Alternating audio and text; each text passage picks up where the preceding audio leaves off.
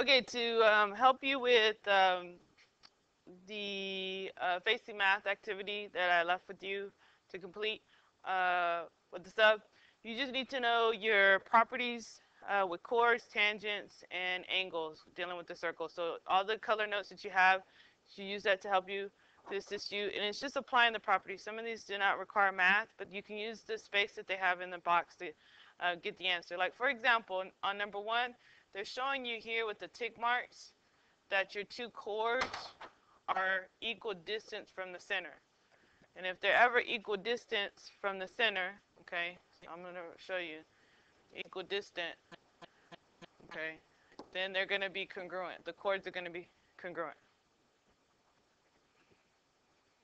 Okay, so basically it's just trying to show you that x would have to be a.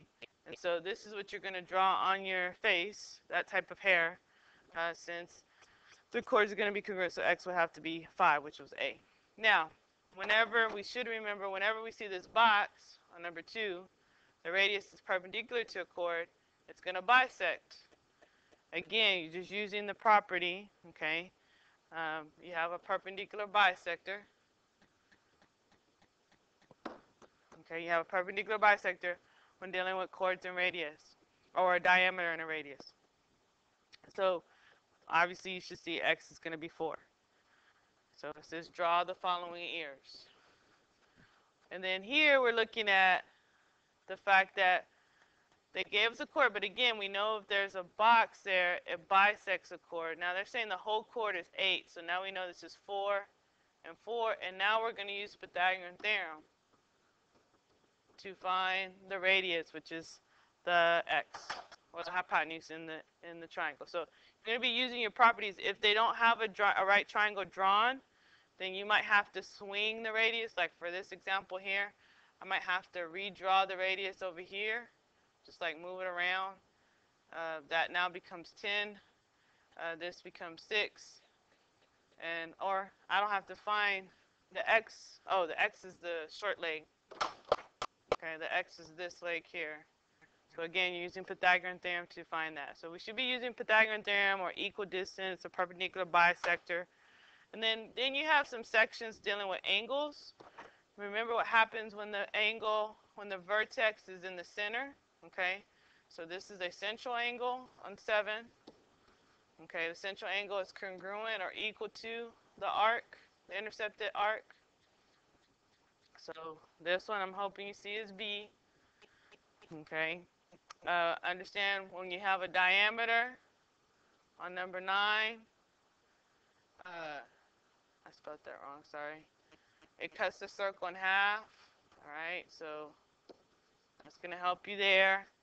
But you do also on 11 have an inscribed angle.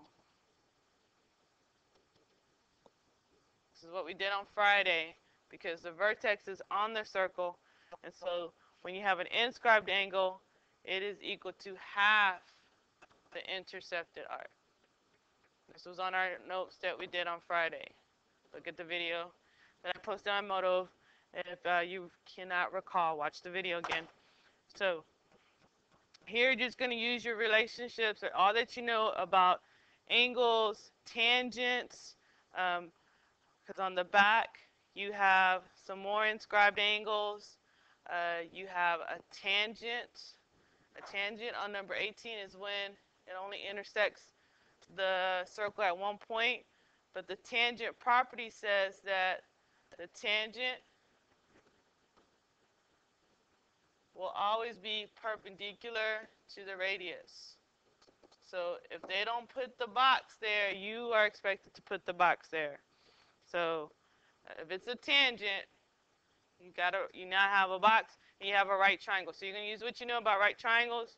You're gonna use Pythagorean theorem because um, that's what is used with the right triangle. Uh, you're gonna use your 90 and two acute angles because uh, the remaining two angles are complementary. So um, Pythagorean theorem, like for example on number 21, I can add these together to get the hypotenuse. So this would be 13. So instead of doing uh, Pythagorean theorem worrying about, oh, what's this x here? I can do x squared plus 5 squared equals 13 squared. And then find that missing leg. And sometimes you might have a quadratic. So you might have to plug it in and check, guess and check. So if it's Pythagorean theorem, then it should work. Okay? The sum of the leg square should equal to the hypotenuse square. So hopefully that'll help you with some of these. You do have some radicals. I know you can work this out. Um, this is due. Turn it in at the end of the period. Thank you.